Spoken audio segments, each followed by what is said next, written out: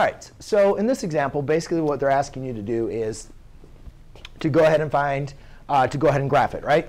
Number 10, right? You're supposed to graph it? OK, so basically, ladies and gentlemen, you could complete the square like we talked about uh, last class period. You'd factor out the negative, you'd group them, factor out the negative 1, do b divided by 2 squared, add it inside, subtract it outside, and then go ahead and find, put it in vertex form.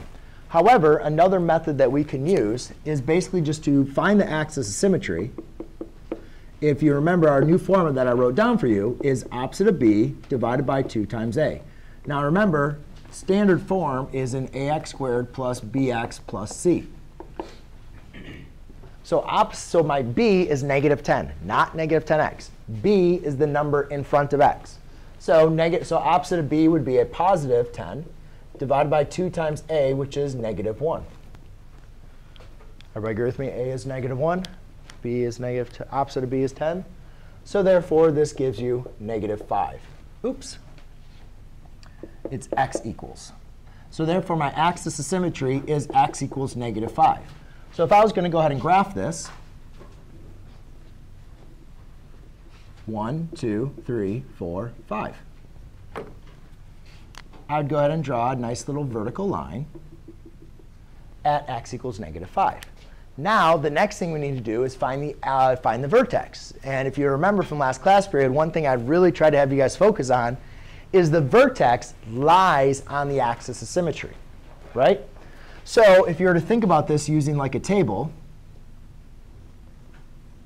here's your x and y points. A lot of students always have trouble with saying, you know, how do you know which points to plug in for x? You know, and, and a lot of times in typical examples, we use negative, negative 2, negative 1, 0, positive 1, positive 2. Well, in this case, just like we talked about when we did absolute value, you always want to make sure that you start with the vertex, with the um, vertex, which lies on the axis of symmetry. So I'm going to use negative 5.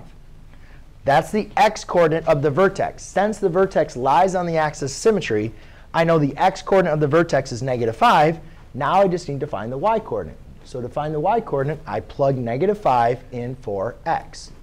So I'll go over here. And basically, in the math notation, we write that as f of 5. I know we haven't talked about that in this class. Squared minus 10 times 5 minus 3. All right? So basically, what you're doing is you're plugging in the x, the x coordinate in for x. So in this case, it has 5 squared, right? Using order of operations, you square the 5, which is 25, times negative 1 is negative 25. Um, then you have negative 10 times 5 is a negative 50 and then minus 3. So that's going to be a negative 78. Wow. OK. So let's go by um, tens. So here I went by ones. So let's go by tens. 10, 20, 30, 40, 50, 60, 70, 80. I can create whatever scaling I want to. So, because it doesn't give you any scaling part, right? Which number 10, what does it have? OK. Oh, that's not the right. Oh, it's negative minus 30.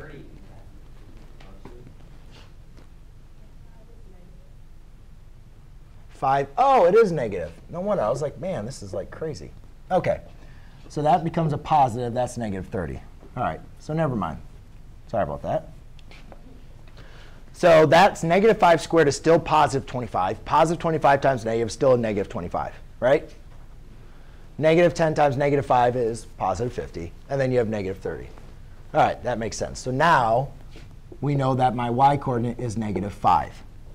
So when x equals negative 5, I get negative 5 out. That is my vertex. Yes? Now let's just look by inspection. Do we know, is this graph going to open up or open down? Down, because it's negative. So we know the graph is being reflected about the x-axis. So the graph opens down. Therefore, if the graph opens down, is this vertex going to be a max or a min? Max. So we can just help each other out. You didn't have to write. I don't think they asked for that, but just to practice. Um, Okay, so then I go negative 5, I go negative 1, 2, 3, 4, 5. So that is my vertex. So the red line's the axis symmetry, black line's vertex.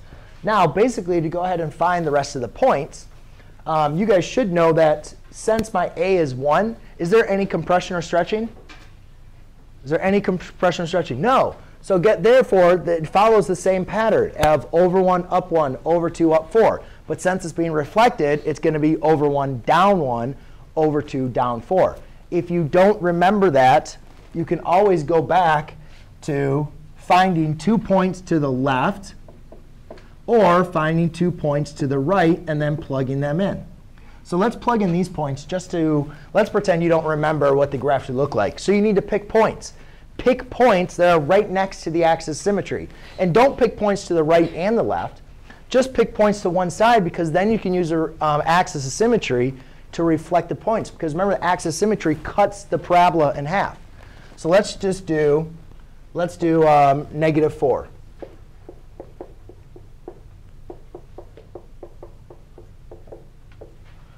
Negative 4, I get negative 16 plus 40 minus 30. So that gives me a negative 6. So I go negative 4. Now I'm going to go down to negative 6. And then let's do negative 3.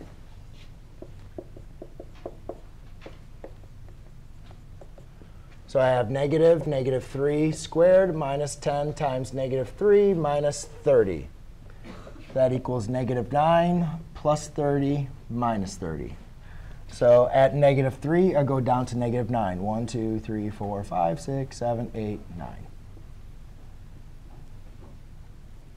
And what I just want to remind you guys is if that's half of it, rather than having to plug in these two points, I know that they are just reflections about the y-axis. And there you go. That's my parabola. Ta-da. Oh, buddy's sorry, everybody's a little tired. Oh, it's OK. OK. Yes? What do you mean by stretching